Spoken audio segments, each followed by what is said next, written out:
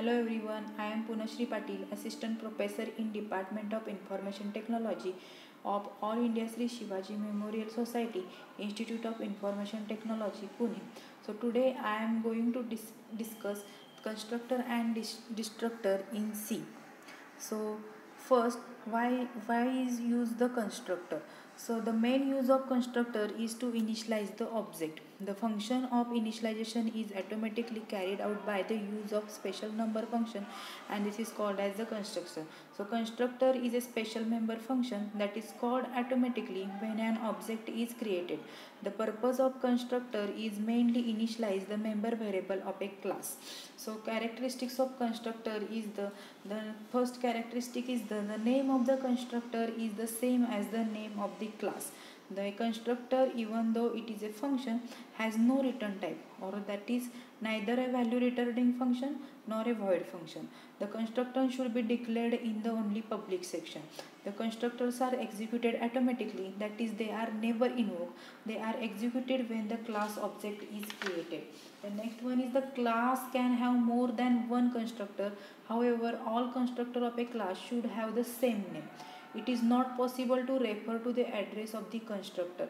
And uh, the constructor make implicit calls to the operator new and delete when memory allocation is required. Then next we see the general syntax for the constructor. So constructor is a special member function that takes the same name as the class name. The syntax is given below. That is the class name and arguments in the curly brackets. The default constructor is defined as in the format with no any argument passes to the function. So the constructor is automatically called when an object is created.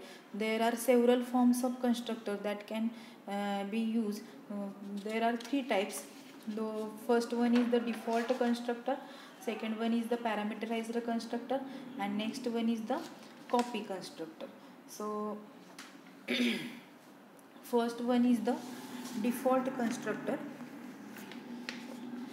A default constructor has no any argument or it is also called as the no argument constructor. A default constructor is a special member function which is invoked by cpp compiler without any argument for initializing the object of the class. It is also called as no argument or zero argument constructor. Some of the features of the default constructors are mm, first one is the default constructor functions initialize the data member with no argument next one is the it can be explicitly written in the public section of the class.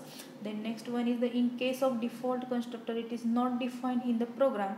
The cpp compiler automatically generates it in in the program. The purpose of the default constructor is to construct a default object of the class type. So there is an example of the default constructor the class creature. Then in private section